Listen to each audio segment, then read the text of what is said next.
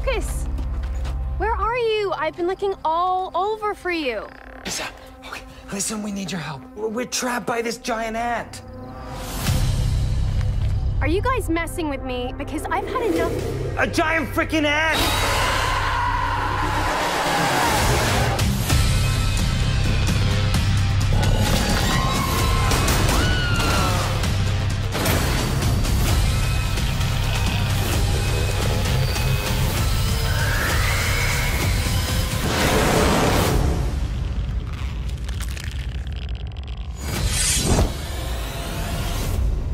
Hell are you gonna do with that? Swat it to death?